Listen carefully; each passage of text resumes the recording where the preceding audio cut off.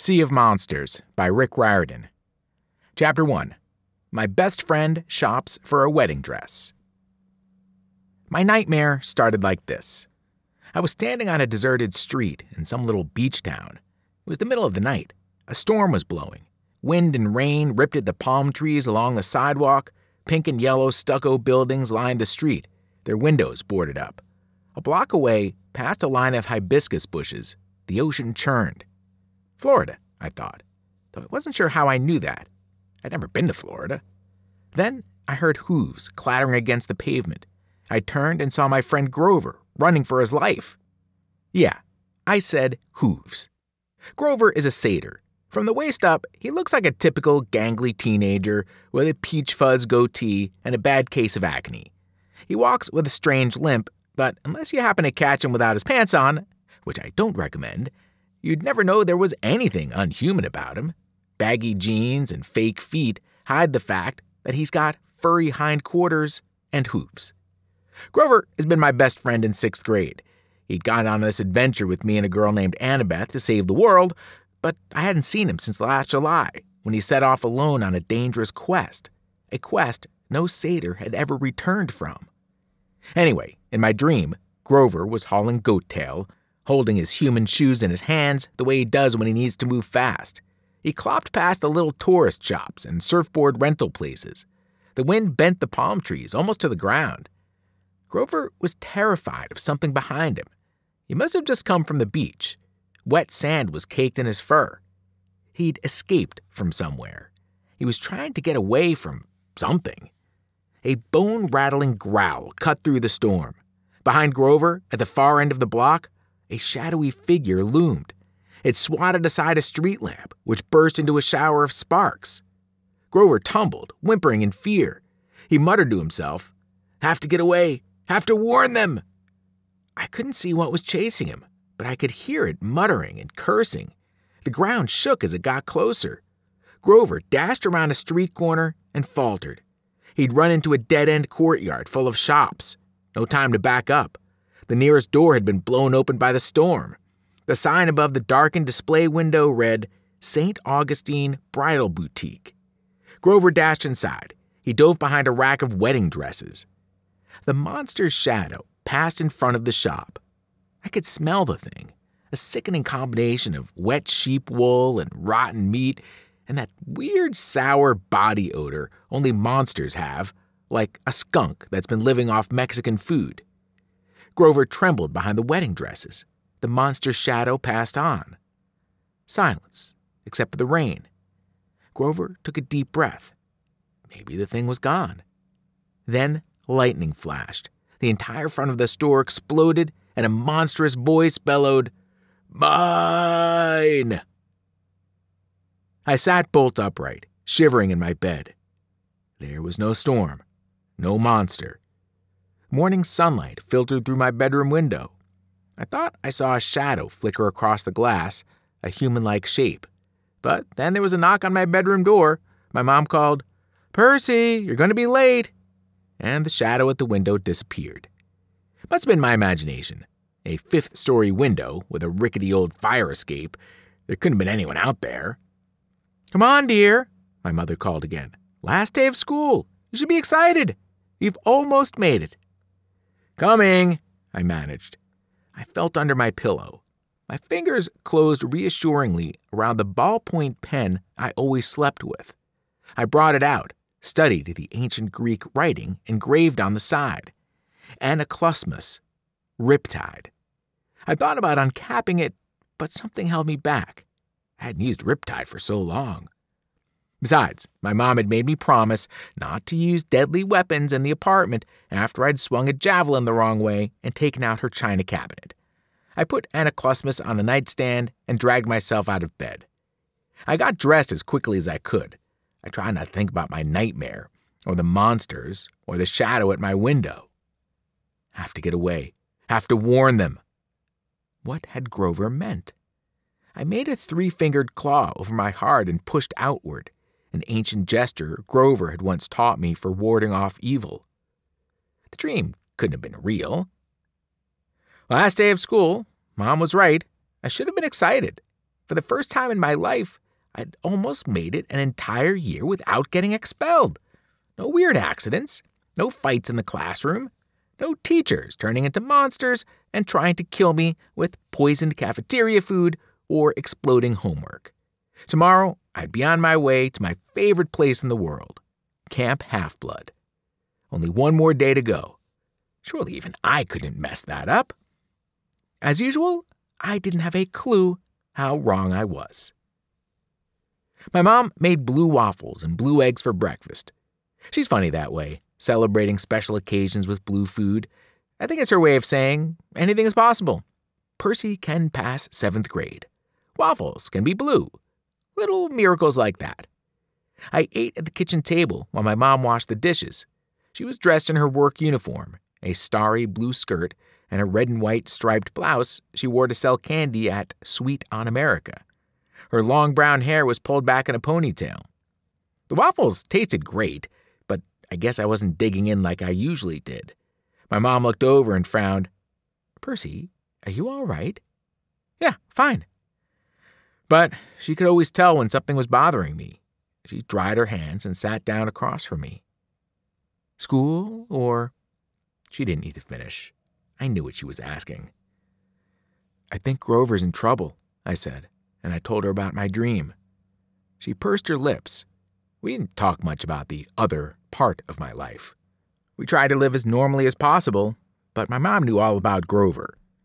I wouldn't be too worried, dear, she said. Grover's a big satyr now. If there was a problem, I'm sure we would have heard from. from camp. Her shoulders tensed as she said the word camp. What is it? I asked. Nothing, she said. I'll tell you what, this afternoon we'll celebrate the end of school. I'll take you and Tyson to Rockefeller Center, to that skateboard shop you like. Oh man, that was tempting. We were always struggling with money. Between my mom's night classes and my private school tuition, we could never afford to do special stuff like shop for a skateboard. But something in her voice bothered me. Wait a minute, I said. I thought we were packing me up for camp tonight. She twisted her dish rag. Oh, dear, about that. I got a message from Chiron last night. My heart sank. Chiron was the activities director at Camp Half Blood. He wouldn't contact us unless something serious was going on. What did he say?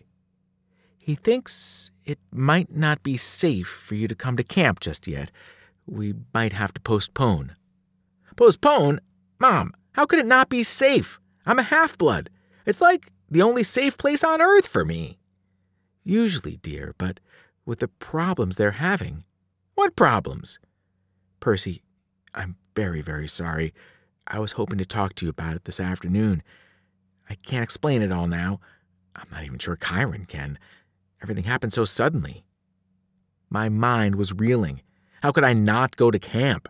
I wanted to ask a million questions, but just then the kitchen clock chimed the half hour. My mom looked almost relieved. 7:30, dear. You should go. Tyson will be waiting. But Percy, we'll talk this afternoon. Go on to school. That was the last thing I wanted to do. But my mom had this fragile look in her eyes, a kind of warning, like if I pushed her too hard, she'd start to cry. Besides, she was right about my friend Tyson. I had to meet him at the subway station on time or he'd get upset. He was scared of traveling underground alone. I gathered up my stuff, but I stopped in the doorway. Mom, this problem at camp, does it. could it have anything to do with my dream about Grover? She wouldn't meet my eyes. We'll talk this afternoon, dear. I'll explain as much as I can. I, reluctantly, I told her goodbye. I jogged downstairs to catch number two train. I didn't know it at the time, but my mom and I would never get to have our afternoon talk. In fact, I wouldn't be seeing home for a long, long time. As I stepped outside, I glanced at the brownstone building across the street. Just for a second, I saw a dark shape in the morning sunlight a human silhouette against the brick wall, a shadow that belonged to no one. Then it rippled and vanished. Chapter 2 I Play Dodgeball with Cannibals. My day started normal. or as normal as it ever gets at Meriwether College Prep. See, this it's this progressive school in downtown Manhattan, which means we sit on beanbag chairs instead of at desks, and we don't get grades, and the teachers wear jeans and rock concert t-shirts to work. That's cool with me. I mean, I'm ADHD and dyslexic, like most half-bloods, so I'd never done that great in regular schools, even before they kicked me out. The only bad thing about Meriwether was that the teachers always looked on the bright side of things, and the kids weren't always, well, bright. Take my first class today English. The whole middle school had read this book called Lord of the Flies, where all these kids get marooned on an island and go psycho. So, for our final exam, our teachers sent us into the break yard to spend an hour with no adult supervision to see what would happen. What happened was a massive wedgie contest between the 7th and 8th graders, two pebble fights, and a full tackle basketball game. The school bully, Matt Sloan, led most of these activities. Sloan wasn't big or strong, but he acted like he was. He had eyes like a pit bull and shaggy black hair and he always dressed in expensive but sloppy clothes, like he wanted everybody to see how little he cared about his family's money. One of his front teeth was chipped from the time he'd taken his daddy's Porsche for a joyride and run into a please slow down for children sign. Anyway, Sloan was giving everybody wedgies until he made the mistake of trying it on my friend, Tyson. Tyson was the only homeless kid at Meriwether College Prep. As near as my mom and I could figure, He'd been abandoned by his parents when he was very young, probably because he was so different. He was six foot three and built like the abominable snowman, but he cried a lot and was scared of just about everything, including his own reflection. His face was kind of misshapen and brutal looking. Couldn't tell you what color his eyes were because I could never make myself look higher than his crooked teeth. His voice was deep, but he talked funny like a much younger kid. I guess because he never got to school before coming to Meriwether. He wore tattered jeans, grimy, size 20 sneakers, and a plaid flannel shirt with holes in it. He smelled like a New York City alleyway because that's where he lived, in a cardboard refrigerator box off 72nd Street. Meriwether Prep had adopted him as a community service project so all the students could feel good about themselves. Unfortunately, most of them couldn't stand Tyson. Once they discovered he was a big softy, despite his massive strength and his scary looks, they made themselves feel good by picking on him. I was pretty much his only friend, which meant he was my only friend. My mom had complained to the school a million times that they weren't doing enough to help him. She'd called social services, but nothing ever seemed to happen. The social workers claimed Tyson didn't exist. They swore up and down that they'd visited the alley we described and couldn't find him, though how you miss a giant kid living in a refrigerator box, I don't know. Anyway, Matt Sloan snuck up behind him and tried to give him a wedgie, and Tyson panicked. He swatted Sloan away a little too hard. Sloan flew 15 feet and got tangled in the little kid's tire swing. You freak! Sloan yelled. Why don't you go back to your cardboard box? Tyson started sobbing. He sat down on the jungle gym so hard he bent the bar and buried his head in his hands. Take it back, Sloan, I shouted. Sloan just sneered at me. Why do you even bother, Jackson? You might have friends if you weren't always sticking up for that freak. I balled my fists. I hope my face wasn't as red as it felt. He's not a freak. He's just. I tried to think of the right thing to say, but Sloan wasn't listening. He and his big ugly friends were too busy laughing. I wondered if it were my imagination or if Sloan had more goons hanging around him than usual. I was used to seeing him with two or three, but today he had like half a dozen more, and I was pretty sure I'd never seen them before. Just wait till PE, Jackson, Sloan called. You are so dead. When first period ended, our English teacher, Mr. DeMilo, came outside to inspect the carnage. He pronounced that we'd understood Lord of the Flies perfectly. We all passed his course, and we should never, never grow up to be violent people. Matt Sloan nodded earnestly, then gave me a chip toothed grin. I had to promise to buy Tyson an extra peanut butter sandwich at lunch to get him to stop sobbing. Am, Am I a freak? he asked me. No, I promised, gritting my teeth. Matt Sloan is the freak. Tyson sniffled. You are a good friend. Miss you next year if. if I can't. His voice trembled. I realized I didn't know if he'd be invited back next year for the community service project. I wondered if the headmaster had even bothered talking to him about it. Don't worry, big guy, I managed. Everything's going to be fine. Tyson gave me such a grateful look, I felt like a big liar. How could I promise a kid like him anything would be fine? Our next exam was science. Mrs. Tesla told us that we had to mix chemicals until we succeeded in making something explode. Tyson was my lab partner. His hands were way too big for the tiny vials we were supposed to use. He accidentally knocked a tray of chemicals off the counter and made an orange mushroom cloud in the trash can. After Mrs. Tesla evacuated the lab and called the hazardous waste removal squad, she praised Tyson and me for being natural chemists. We were the first ones who'd ever aced her exam in under 30 seconds. I was glad the morning went fast because it kept me from thinking too much about my problems. I couldn't stand the idea that something might be wrong at camp. Even worse, I couldn't shake the memory of my bad dream. I had a terrible feeling that Grover was in danger. In social studies, while we were drawing latitude longitude maps, I opened my notebook and stared at the photo inside. My friend Annabeth on vacation in Washington, D.C. She was wearing jeans and a denim jacket over her orange Camp Half Blood t shirt. Her blonde hair was pulled back in a bandana. She was standing in front of the Lincoln Memorial with her arms crossed, looking extremely pleased with herself, like she'd personally designed the space. See, Annabeth wants to be an architect when she grows up, so she's always visiting famous monuments and stuff. She's weird that way. She'd emailed me the picture after spring break, and every once in a while, I'd look at it just to remind myself she was real, and Camp Half Blood hadn't just been my imagination. I wished Annabeth were here. She'd know what to make of my dream. I never admitted to her, but she was smarter than me, even if she was annoying sometimes. I was about to close my notebook when Matt Sloan reached over and ripped the photo out of the rings. Hey, I protested. Sloan checked out the picture and his eyes got wide. No way, Jackson.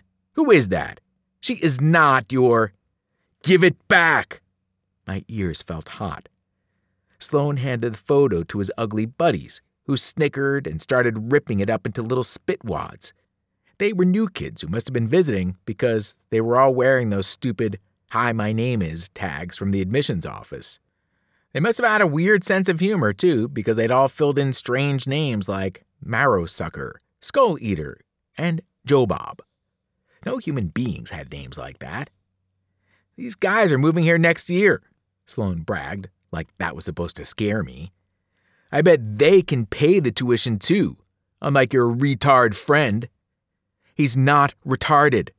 I had to try really, really hard not to punch Sloan in the face. You're such a loser, Jackson. Good thing I'm going to put you out of your misery next period. His huge buddies chewed up my photo. I wanted to pulverize them, but I was under strict orders from Chiron not never to take my anger out on regular mortals, no matter how obnoxious they were. I had to save my fighting for monsters. Still, part of me thought if Sloan only knew who I really was. The bell rang. As Tyson and I were leaving class, a girl's voice whispered, Percy! I looked around the locker area, but nobody was paying me any attention, like any girl in Meriwether would ever be caught dead calling my name. Before I had time to consider whether or not I'd been imagining these things, a crowd of kids rushed for the gym, carrying Tyson and me along with them. It was time for PE, our coach had promised us a free for all dodgeball game, and Matt Sloan had promised to kill me. The gym uniform at Meriwether is sky blue shorts and tie dyed t shirts. Fortunately, we did most of our athletic stuff inside, so we didn't have to jog through Tribeca looking like a bunch of boot camp hippie children. I changed as quickly as I could in the locker room because I didn't want to deal with Sloan. I was about to leave when Tyson called, Percy! He hadn't changed yet, he was standing by the weight room door, clutching his gym clothes. Will you, um, oh, yeah. I tried not to sound aggravated about it. Yeah, uh, sure, man. Tyson ducked inside the weight room. I stood guard outside the door while he changed. I felt kind of awkward doing this, but he asked me to most days. I think it's because he's completely hairy and he's got weird scars on his back that I've never had the courage to ask him about. Anyway, I learned the hard way that if people teased Tyson while he was dressing out, he'd get upset and start ripping the doors off lockers. When we got into the gym, Coach Nunley was sitting at his little desk reading Sports Illustrated. Nunley was about a million years old, with bifocals and no teeth, and a greasy wave of gray hair. He reminded me of the Oracle at Camp Half Blood, which was a shriveled up mummy, except Coach Nunley moved a lot less and never billowed green smoke. Well, at least not that I'd observed. Matt Sloan said, Coach, can I be captain? Hey, Coach Nunley looked up from his magazine. Yeah, he mumbled. Mm hmm. Sloan grinned and took charge of the picking. He made me the other team's captain, but it didn't matter who I picked because all the jocks and the popular kids moved over to Sloan's side. So did the big group of visitors. On my side, I had Tyson, Corey Baylor, the computer geek, Raj Mandali, the calculus whiz, and a half dozen other kids who always got harassed by Sloan and his gang. Normally, I would have been okay with just Tyson. He was worth half a team all by himself. But the visitors on Sloan's team were almost as tall and strong looking as Tyson, and there were six of them. Matt Sloan spilled a cage full of balls into the middle of the gym. Scared, Tyson mumbled. Smelled funny. I looked at him. What smells funny? Because I didn't figure he was talking about himself. Them, Tyson pointed at Sloan's new friends. Smell funny. The visitors were cracking their knuckles, eyeing us like it was slaughter time. I couldn't help wondering where they were from. Some place where they fed kids raw meat and beat them with sticks. Sloan blew the coach's whistle and the game began. Sloan's team ran for the center line. On my side, Raj Mandali yelled something in Urdu, probably, I have to go potty, and ran for the exit. Corey Baylor tried to crawl behind the wall mat and hide. The rest of my team did their best to cower in fear and not look like targets. Tyson, I said, let's go. A ball slammed into my gut. I sat down hard in the middle of the gym floor. The other team exploded in laughter. My eyesight was fuzzy. I felt like I'd just gotten the Heimlich maneuver from a gorilla. I couldn't believe anybody could throw that hard. Tyson yelled, Percy, duck! I rolled as another dodgeball whistled past my ear at the speed of sound. Whoomph! It hit the wall mat, and Corey Baylor yelped.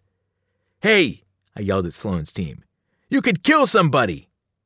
The visitor named Joe Bob grinned at me evilly.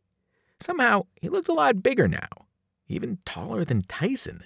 His biceps bulged beneath his t shirt. I hope so, Perseus Jackson. I hope so. The way he said my name sent a chill down my back. Nobody called me Perseus except those who knew my true identity friends and enemies. What had Tyson said? They smell funny? Monsters. All around Matt Sloan, the visitors were growing in size. They were no longer kids. They were eight foot tall giants with wild eyes, pointy teeth, and hairy arms tattooed with snakes and hula women and Valentine hearts. Matt Sloan dropped his ball. Whoa! You're not from Detroit! Who?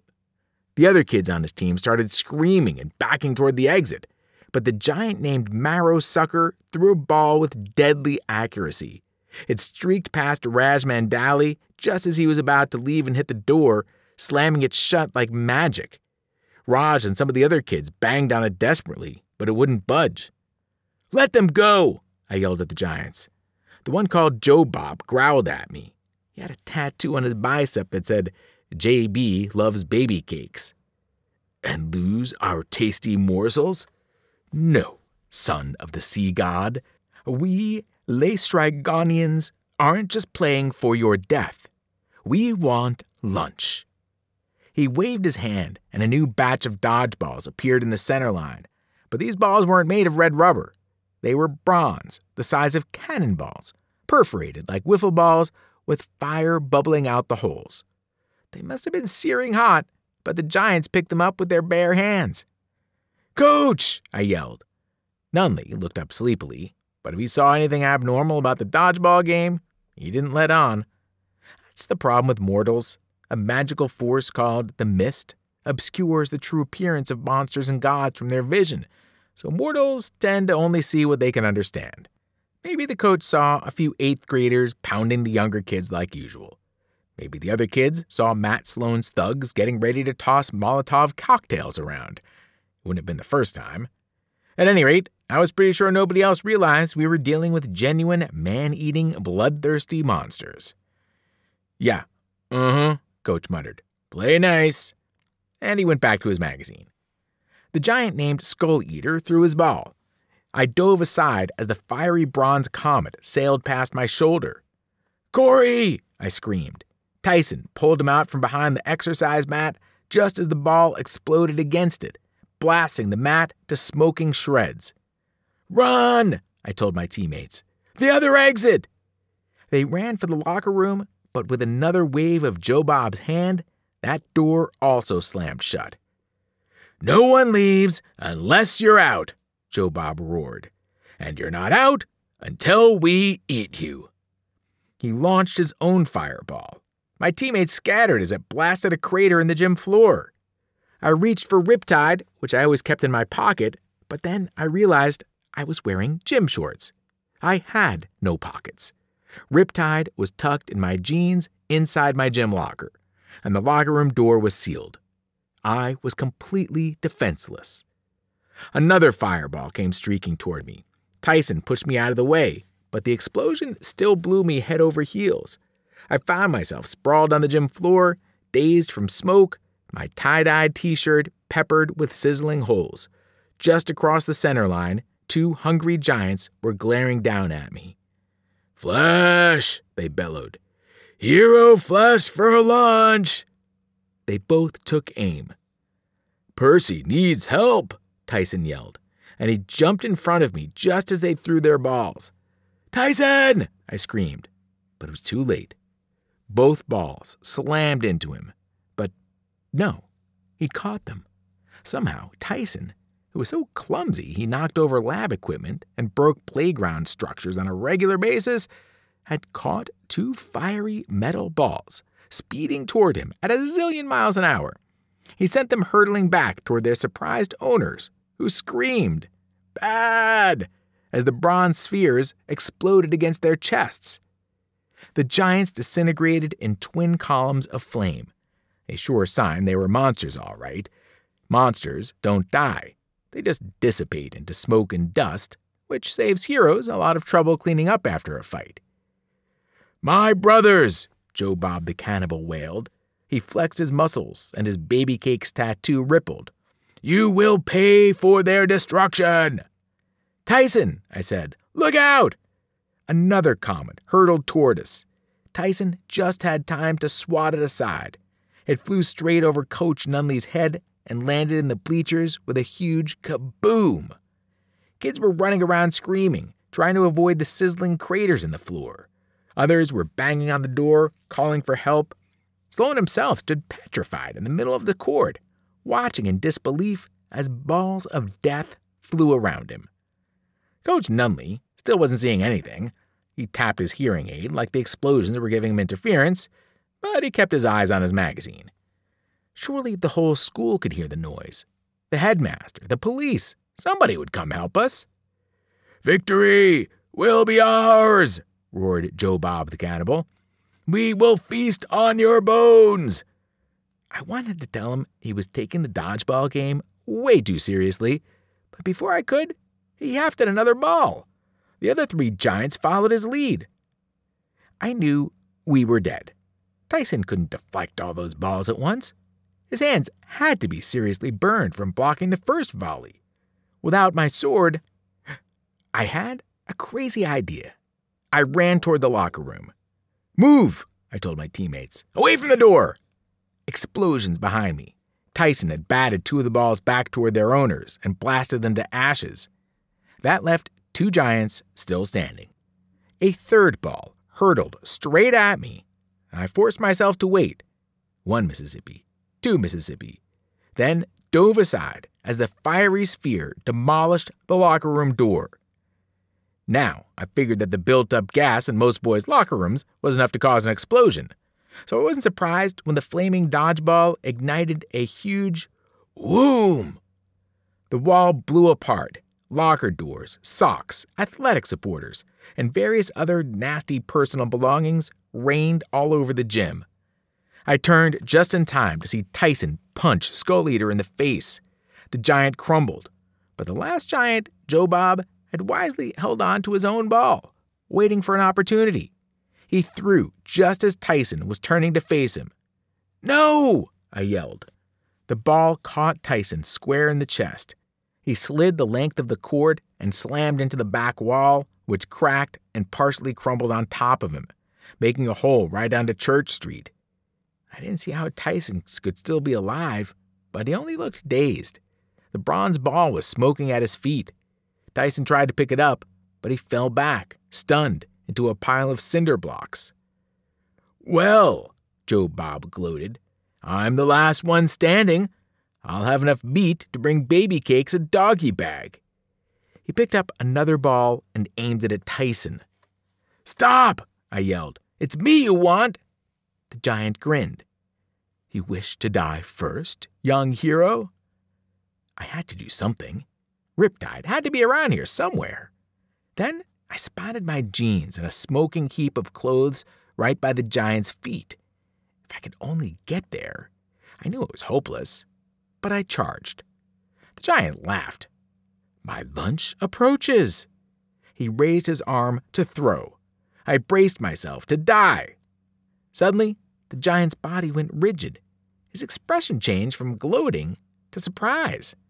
Right where his belly button should have been, his t shirt ripped open, and he grew something like a horn. No, not a horn, the glowing tip of a blade. The ball dropped out of his hand. The monster stared down at the knife that had just run him through from behind. He muttered, Ow! And burst into a cloud of green flame, which I figured was going to make baby cakes pretty upset. Standing in the smoke was my friend, Annabeth. Her face was grimy and scratched. She had a ragged backpack slung over her shoulder, her baseball cap tucked in her pocket, a bronze knife in her hand, and a wild look in her storm gray eyes, like she'd just been chased a thousand miles by ghosts. Matt Sloan, who'd been standing there dumbfounded the whole time, finally came to his senses. He blinked at Annabeth, as if he dimly recognized her from my notebook picture. That's the girl! Uh, that's the girl! Annabeth punched him in the nose and knocked him flat. And you, she told him, lay off my friend. The gym was in flames. Kids were still running around screaming. I heard sirens wailing and a garbled voice over the intercom. Through the glass windows of the exit doors, I could see the headmaster, Mr. Bonsai, wrestling with the lock a crowd of teachers piling up behind him. Annabeth, I stammered, how did you. How long have you. Pretty much all morning. She sheathed her bronze knife. I've been trying to find a good time to talk to you, but you were never alone. The shadow I saw this morning, that was. My face felt hot. Oh my gods. You were looking in my bedroom window? There's no time to explain, she snapped, though she looked a little red faced herself. I just didn't want to. There! a woman screamed. The doors burst open, and the adults came pouring in. Meet me outside, Annabeth told me. And him, she pointed to Tyson, who was still sitting dazed against the wall. Annabeth gave him a look of distaste that I didn't quite understand. You'd better bring him. What? No time, she said. Hurry! She put on her Yankees baseball cap, which was a magic gift from her mom, and instantly vanished.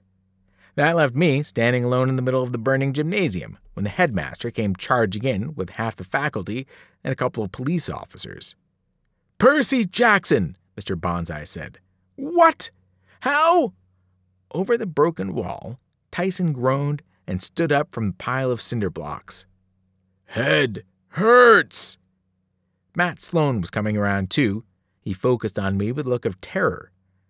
Percy did it, Mr. Bonsai! He set the whole building on fire! Coach Nunley will tell you! He saw it all! Coach Nunley had been dutifully reading his magazine, but just my luck, he chose that moment to look up when Sloan said his name. Huh? Yeah, uh huh. The other adults turned toward me. I knew they would never believe me, even if I could tell them the truth. I grabbed Riptide out of my ruined jeans, told Tyson, Come on! and jumped through the gaping hole in the side of the building.